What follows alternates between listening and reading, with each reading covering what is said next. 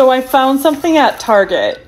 I have been searching for this forever simply because I wanted the mini shopping cart. And you know what? I got it. So let's do an unboxing.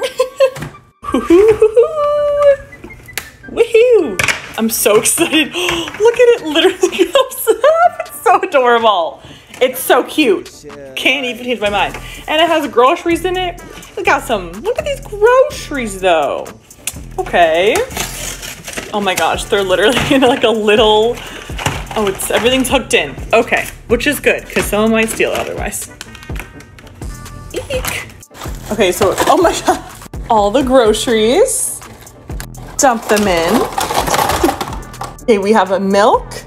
We have blueberry uh, fruit bars and favorite day ice cream sandwiches. So you have all of the Target brands, uh, Good and Gather, Panay Regatta, and then